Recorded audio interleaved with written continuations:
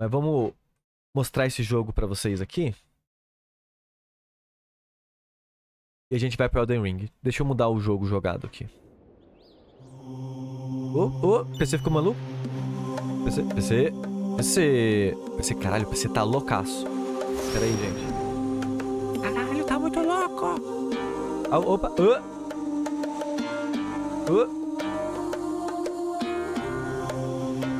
Caralho, é que vocês não viram o que aconteceu aqui. Ficou mu... Nossa, o PC ficou loucaço. Mas acho que eu tô de volta.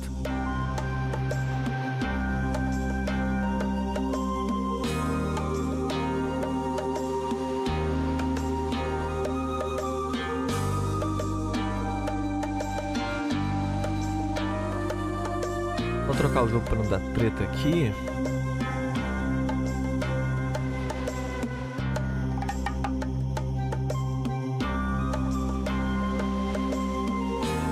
Você travou.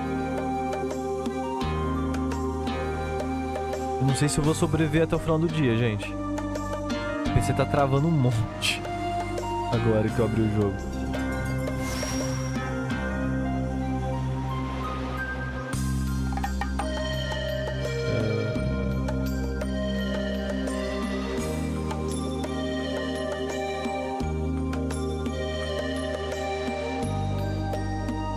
Aham, foi.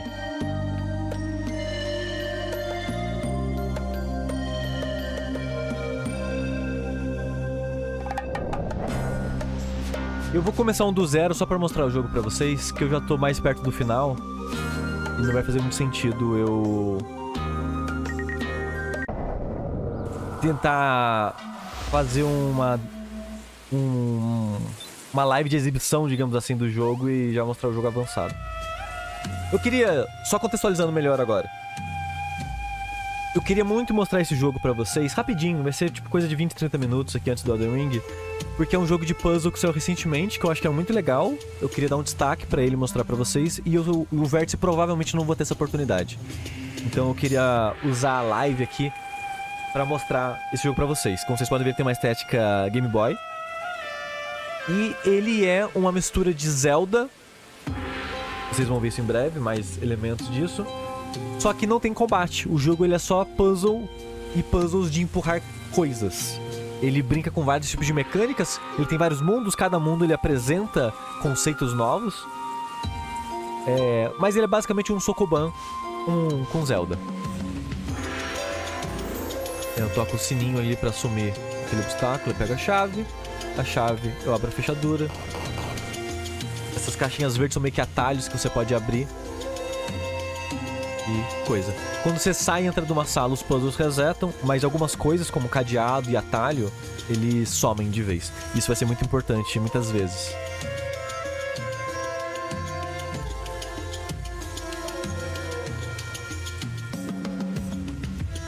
Então, Rafael, a primeira coisa que eu pensei quando eu vi esse jogo foi: será que ele é um Goof Troop-like? E não é bem o caso, ele não é bem Goof Troop. Mas eu acho que se você gosta de Goof Troop, tem chance de você gostar desse jogo, apesar que esse aqui não tem co-op. Aí as, essas caixas, se você empurra ela no buraco, você tampa o buraco. Porque do contrário você cai.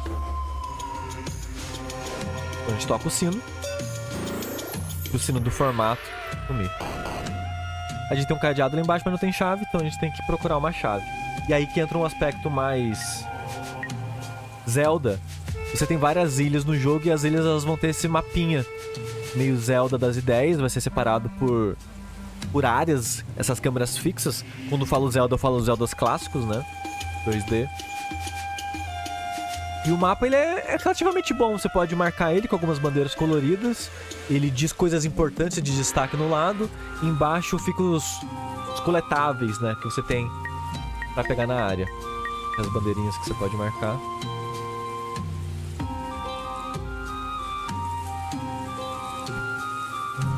Sushi, não tem nada a ver, mas você chegou a jogar Super Win the Game, you have to win the game. É, eu acho que eu joguei. O nome é familiar, pelo menos. Talvez eu conheça, mas não joguei. Ah, VVVV é um, é, um, é um jogo, né? Porra, que saudade desse jogo. Uma experiência.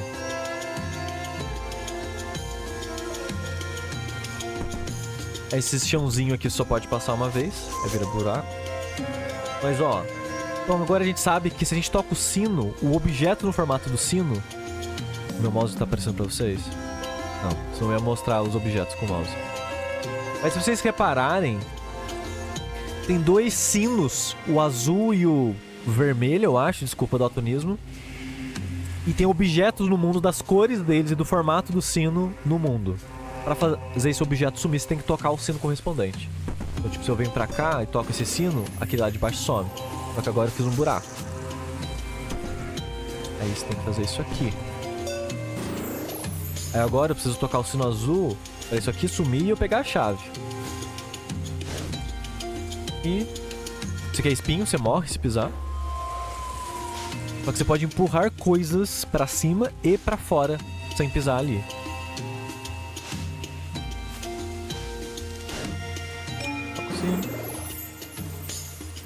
Uhul. Agora a gente pode abrir aquela porta.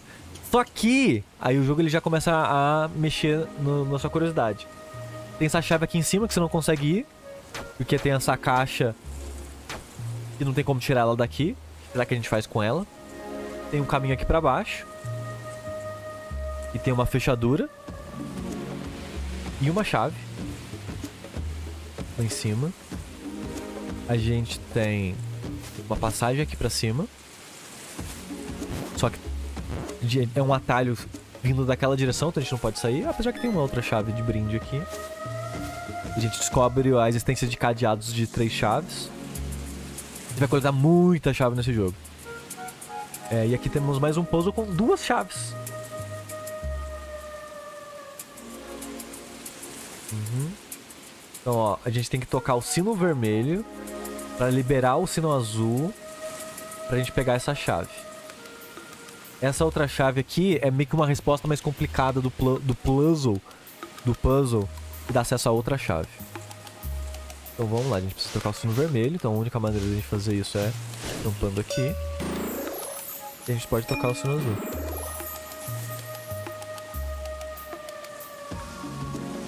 E a gente joga aqui. Não, pegou a chave. Só que a gente não tá nem perto de pegar a chave ali de cima. Aí nós temos que fazer algo muito safadinho para solucionar esse puzzle. Que a gente... Ah, uma coisa importante. Quando você faz ação, os negócios de voltar turno ou resetar o puzzle, você pega os itens de importância. Então, por exemplo, eu resetei o puzzle, mas a chave continua comigo. Se eu fizer isso aqui, ainda falta uma caixa pra gente subir lá. Só que não tem outra caixa aqui. Ou será que tem?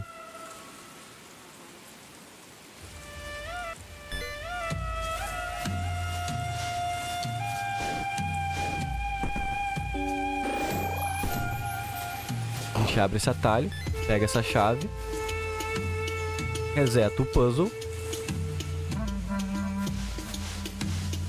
Se vocês repararem, tem um buraquinho aqui do lado. Três caixas. Oh. Você não pode empurrar a caixa de outra, outra tela. Mas como a caixa está na mesma tela, é, funciona. Porque sempre que você sai e volta de uma tela, o jogo reseta aquele lugar.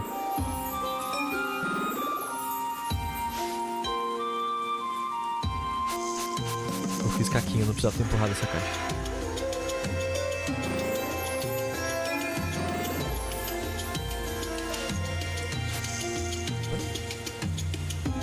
Por baixo.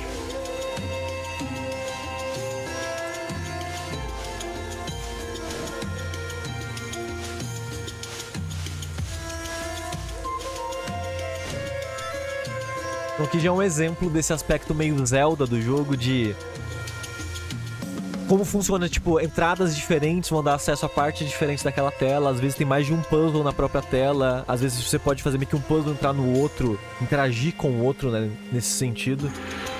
Então, a parte Zelda do jogo vem disso, do, do uso do mapa, o uso da exploração. O jogo tem bastante segredo. Acho que... Ah, eu não vou ter acesso agora, né?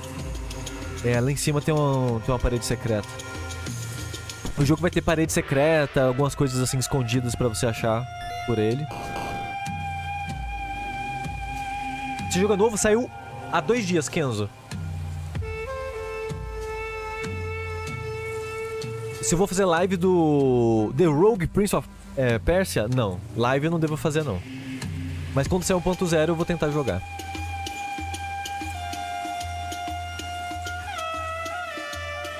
Rafael, eu tô jogando esse jogo no Steam Deck. Ele é muito bom pro Steam Deck. Ah, esse jogo saiu pra PC e Switch, tá, gente? Então você aqui de Switch, esse jogo está pra você. E são as únicas plataformas dele no momento. Aqui. Aqui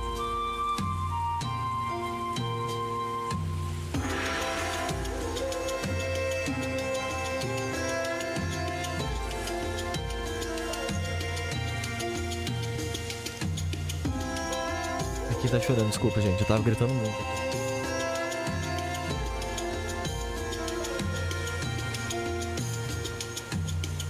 Tá meio friozinho hoje, ela no frio ela fica muito coitada. É tipo Monster Expedition, no sentido que é inspirado em Sokoban, sim. Mas meio que acaba aí. As referências. Semelhanças, no caso. Tenho três chaves aqui, então eu posso meio que pular esse puzzle no momento. Aqui a gente vê uma das barreiras, tipo de barreira que o jogo vai ter, que é essa das estrelas. Mas o que são essas estrelas? É meio que o principal coletável, chave do jogo. E muitos puzzles e segredos do jogo envolve te dar essas estrelas. E essas estrelas são meio que um um, um mínimo necessário para você avançar no jogo. Vai ter vários pontos que vai pedir X estrelas para você avançar. E a gente tem aqui a nossa amiga tartaruga. Não encontrou no Switch? Será que ele não saiu pro Switch ainda? Mas ele tá pro, anunciado pro Switch. Deixa eu conferir aqui só um segundo.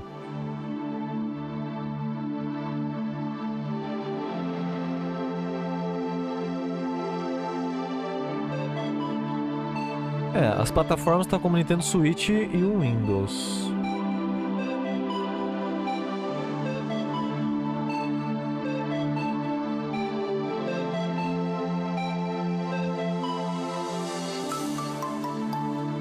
Ah, esse jogo foi financiado por Kickstarter, olha aí.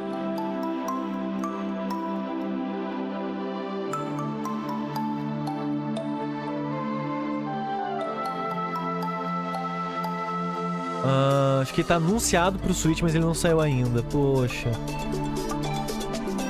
Eu achei que ele já tivesse saído pro Switch, porque quando você procura na internet, as plataformas que aparecem é a Switch e PC. Mas eu acho que eles ainda estão fazendo a versão do Switch, o port. Triste.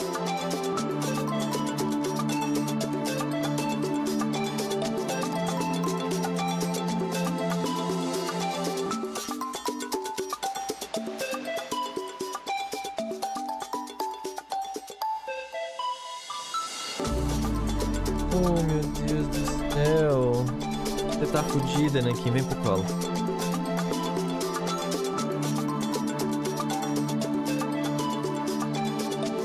É, eu gostei de Void Stranger. Eu aprecio Void, Void Stranger. Eu não gostei de jogar Void Stranger. Mas eu acho muito interessante a experiência criada com ele. Merda, esse chat é muito ruim. Ele fica travando e não desce mais.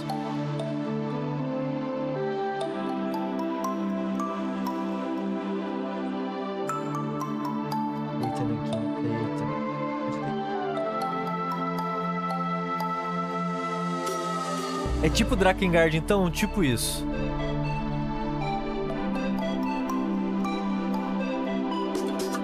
Gente jogar tá muito triste.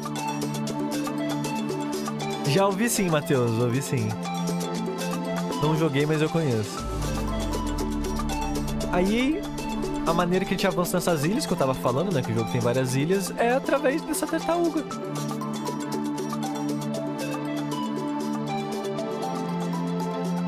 Aí teremos ilhas menores, opcionais com algumas coisas secretas. Como por exemplo, essa que a gente não pode fazer nada no momento ainda nela. Mas a gente pode vir nesse cantinho escondido aqui. Coletar umas chaves.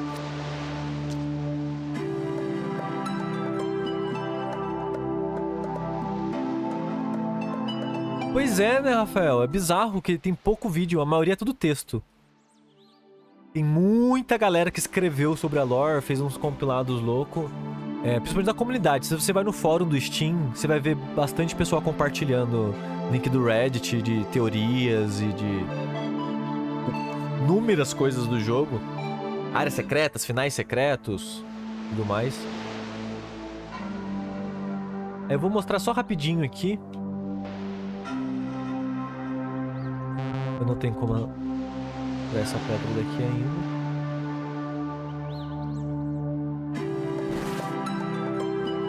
Aí, essa ilha, que é a primeira ilha principal que você vai fazer, ela já apresenta umas mecânicas novas e ficam muitas delas presas a essa ilha. A maneira que o jogo ele vai fazer essas áreas, muitas delas vão ser meio que lógicas novas por ilha e limitadas àquela ilha. E aí entra talvez uma das minhas críticas ao jogo, que eu acho que eles pegam pesado mais pra frente no jogo. Os puzzles começam a ficar tão elaborados, com tanto objeto para você interagir, que eu olho a tela e penso, caralho, eu não sei nem por onde começar isso aqui. E aí me dá uma leve preguiçinha de puzzle que tem muitas engrenagens assim para solucionar. Eu prefiro jogos de puzzle tipo a Monster Expedition ou o Patrick's Parabox, dois que eu joguei em live, que são puzzles pequenos, é, limitados a poucos objetos, mas que ainda assim tem sua complexidade em o que fazer com, aquela, com as poucas coisas que você tem. Aqui ele vai por excesso. É, tipo, é coisa pra caralho pra mexer, empurrar e jogar. E aí eu fico meio. Ai, cara, que preguiça dessa tela, sabe? E aí, Denis, beleza? Ah, vamos indo, né, cara? Vamos indo.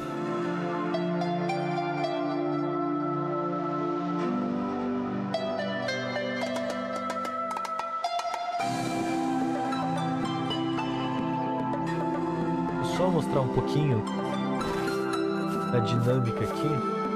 É quem decide o que você quer da vida. Tá, nós temos o sino lá. A gente precisa tocar aquele sino pra pegar esse cristalzinho aqui. Que porra é essa? Que porra é? Não sei que porra é essa.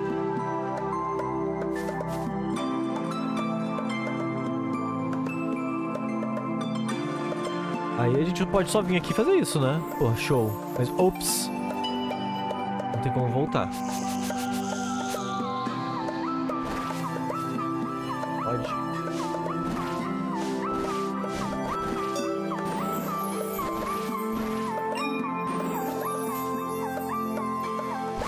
Essa, essa caixa em específico quebra esses cristais.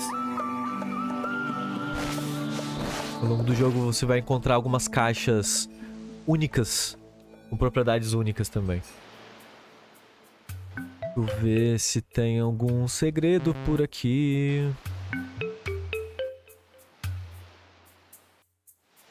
Só pra mostrar pra vocês. Ah! Tá vendo esse chão na frente do meu personagem? Ele tem um formato peculiar. Uma das coisas que você tem para fazer em cada ilha é coletar essas notas musicais. Toda ilha tem um instrumento que você coleta as músicas para saber que música. Você coleta as notas para saber que música tocar no instrumento.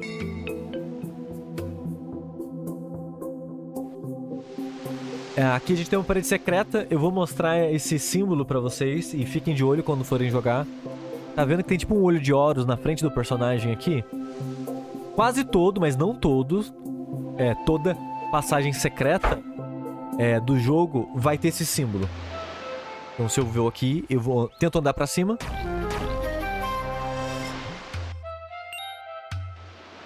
A gente pega esse segredo.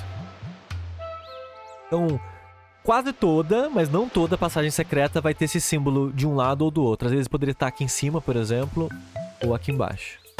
Vai... Abrir sem querer. Vai variar de caso a caso.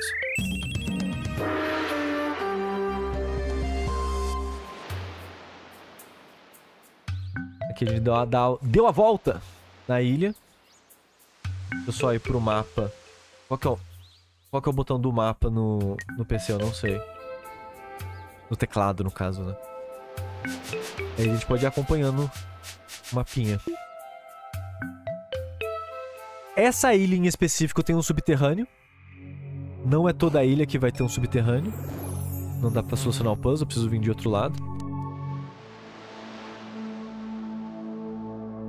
Cada ilha vai ter meio que um gimmick. Tem quatro ilhas elementais que você vai encontrar.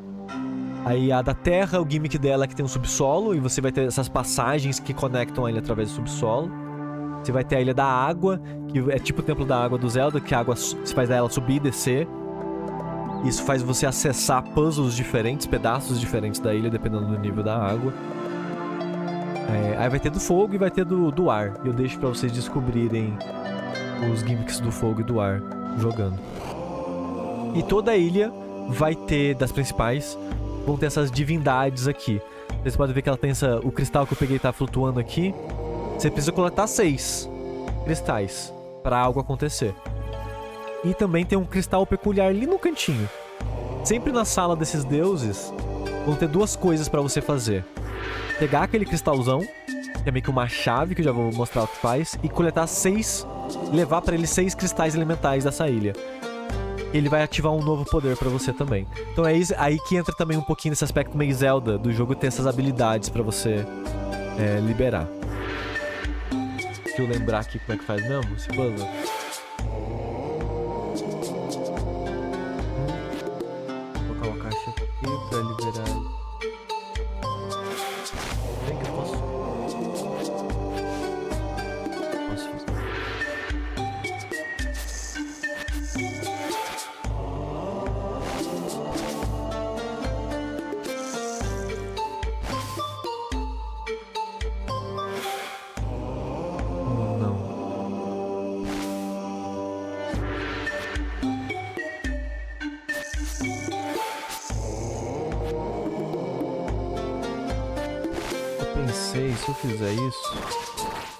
Fechar, não vai adiantar.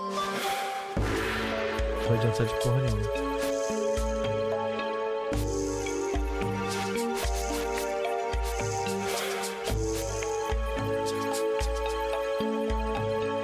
Já tem a resposta aqui. Tenho quase certeza que eu não preciso de nenhum poder ou habilidade aqui pra fazer essa porra. Só preciso ser um pouquinho mais esperto. É difícil? Muito difícil, tá, gente? Desculpa.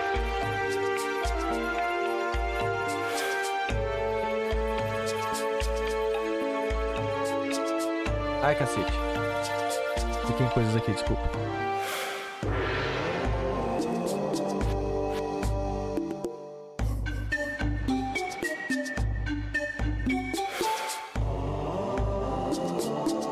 Preciso.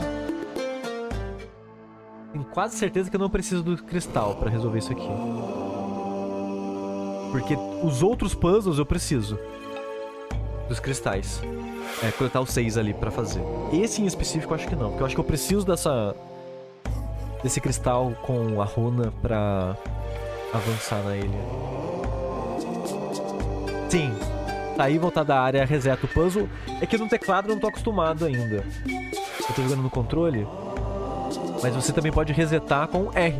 Okay. Então eu posso só... Por algum motivo a sala desses deuses ela tem esse, esse load bizarro. Mas eu posso, tipo, R, reseta o puzzle. E espaço, você volta uma ação.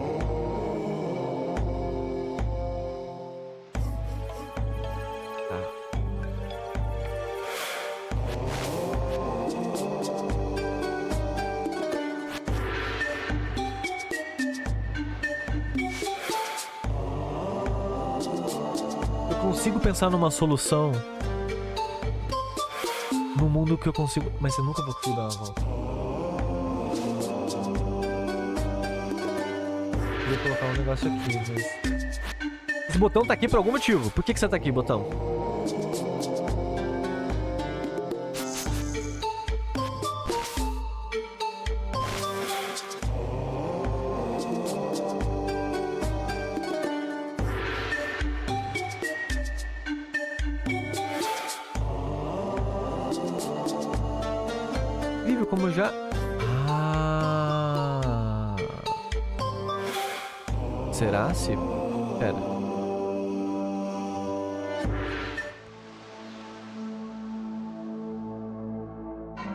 Certeza? Eu só consigo seis cristais se eu tiver aquela cor. Vou fazer um teste. E... É azul... Eu preciso de trás pra fazer aquele puzzle. Hum, esse aqui eu tenho a chave. Dá pra fazer assim.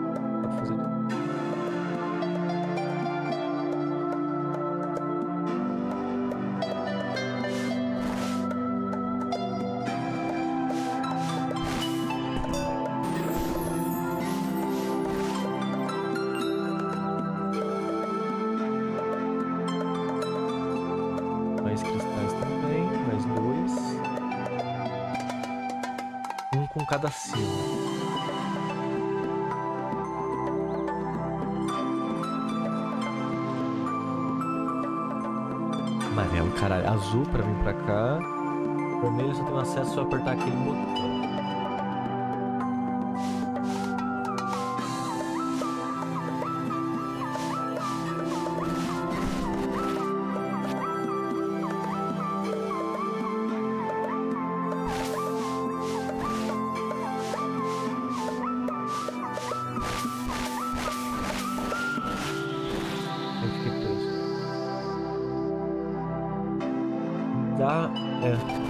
Pego uma das coisas.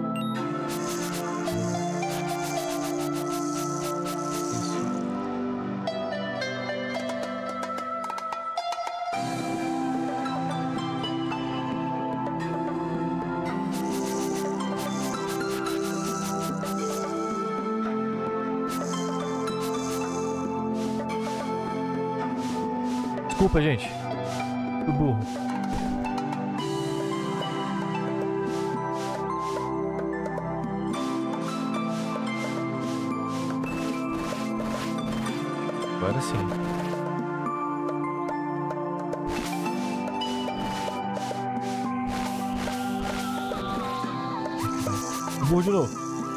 Esqueci de tocar o sino.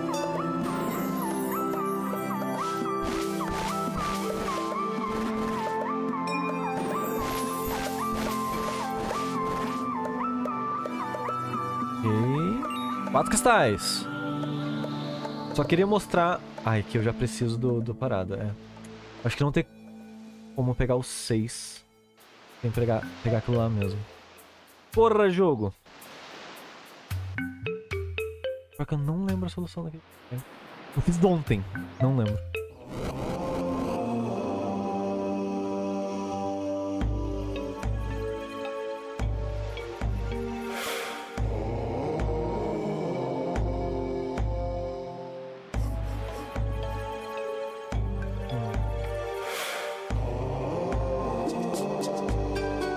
Sexto ban, exatamente. É, eu vou fazer isso agora, tá, gente? Toda sexta-feira é live de Sokoban.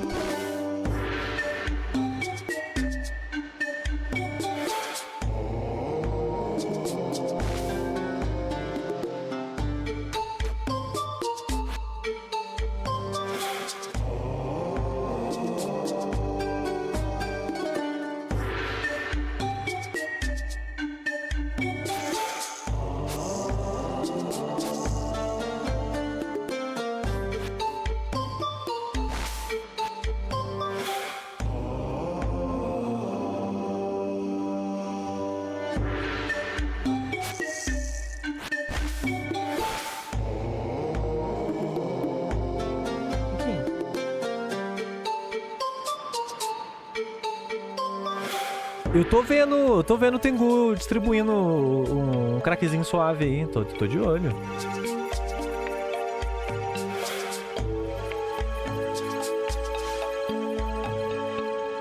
Olha que se eu faço isso. Caralho, é só ouvir. Desculpa, chat, desculpa. Aí agora que eu tenho essa, essa gema com essa runa, essas, essas caixinhas, esses quadrados que tem o mesmo símbolo, eu posso destruir.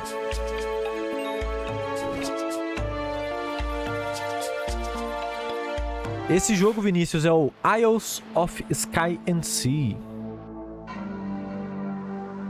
Eu peguei. Eu posso destruir aqui agora e vim pra cá.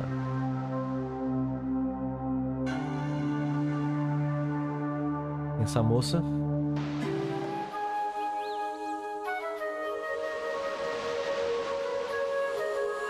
Segredos secretos aqui.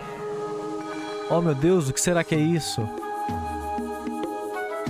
de 5 estrelas pra sair daqui. Segredos secretos aqui também. Não vou falar sobre isso. Deixe vocês descobrirem os segredos secretos. Segredos secretos.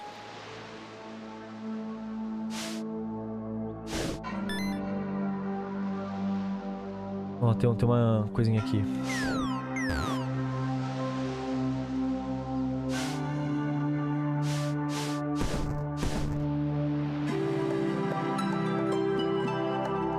嗯。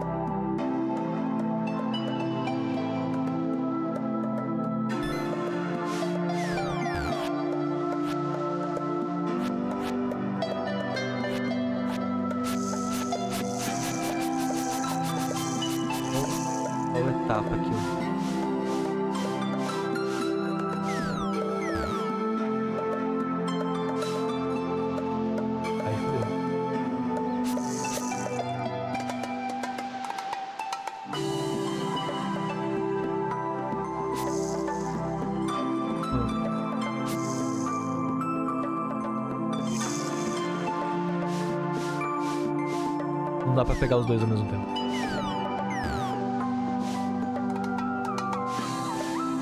Um, uma coisa que é legal, mas pode ser um problema, é que muitos dos puzzles tem mais de uma resposta. E às vezes só na tentativa e erro que você vai descobrir qual solução é para qual resposta.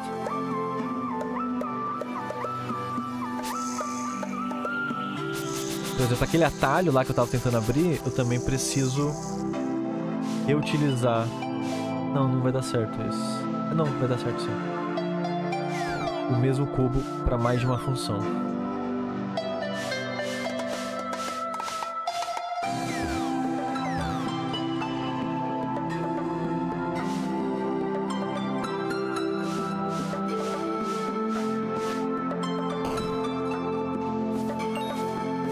Show.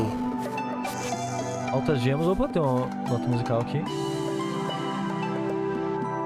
Eu só queria fazer isso para mostrar para vocês o escopo das coisas que o jogo vai, é, terá. Você volta aqui com as seis coisinhas, né, marca essa porta, que é meio que o objetivo final do jogo.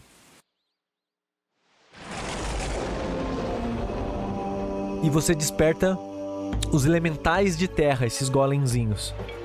Então, o jogo, ele toda a ilha vai ter uma runa que vai permitir você quebrar caixas específicas, que nem essa que eu peguei para quebrar lá em cima.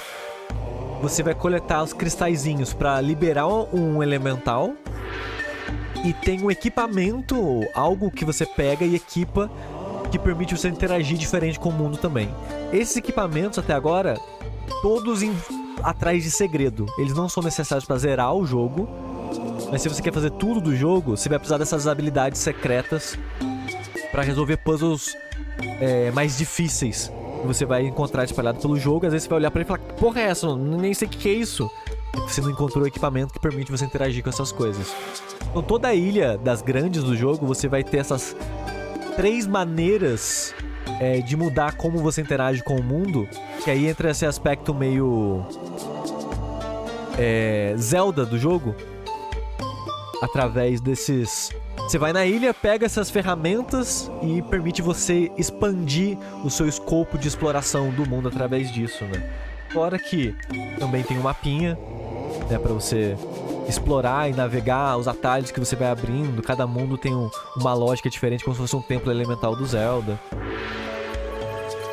Então, ele é de fato meio que um Zelda clássico só que sem combate, só com puzzle. É uma das surpresas do ano para mim. Eu já era um jogo que eu já tava acompanhando já, mas é um jogo que eu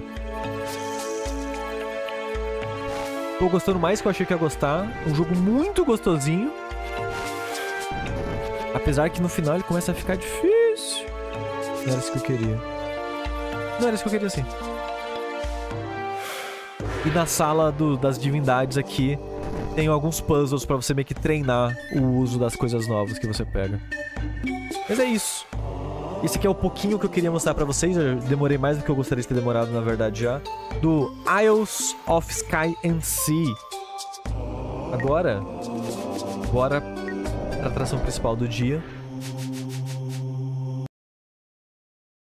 Que é o Elden Ring. Quem se sentou em cima do mouse?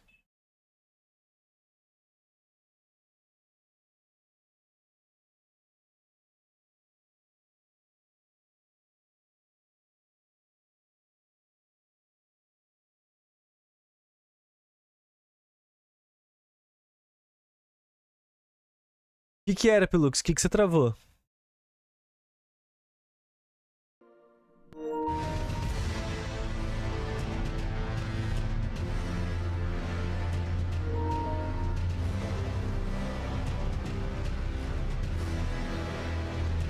Ah, o ator perguntou, desculpa Arthur, eu perdi, eu perdi sua dúvida. Perdi. É, se você empurrar uma caixa com a outra não faz a da frente se movimentar, você não pode empurrar dois objetos ao mesmo tempo nesse jogo. Se tem dois objetos encostando, você tenta empurrar um na direção do outro, não acontece nada. De caixas, tem alguns elementais que eles têm as regras próprias deles. Então, às vezes, se você empurra um elemental na direção do outro, outra coisa pode acontecer. É...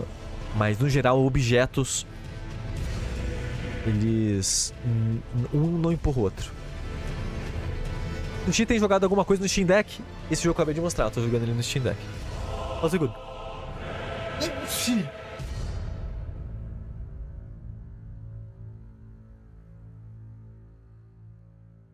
A Thalissa tá jogando o Stardew Valley de novo. E eu tô jogando esse Isles of Sky and Sea. E tava jogando o Lorelai Lorelei The Lazy Ace também tava jogando no Steam Deck. Com um bloquinho de nota do lado.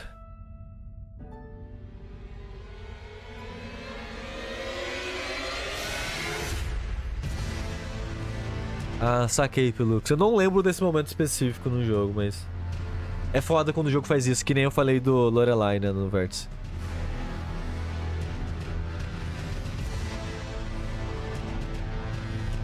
Aqui só tá friozinho, Darecão, mas não tá chovendo não. Pelo menos não aqui. E uma coisa mágica de São Paulo que eu, como criança da roça... Quem cresceu aqui acha normal, mas eu ainda acho estranho é... São Paulo é tão grande que às vezes chove num bairro e não chove no outro.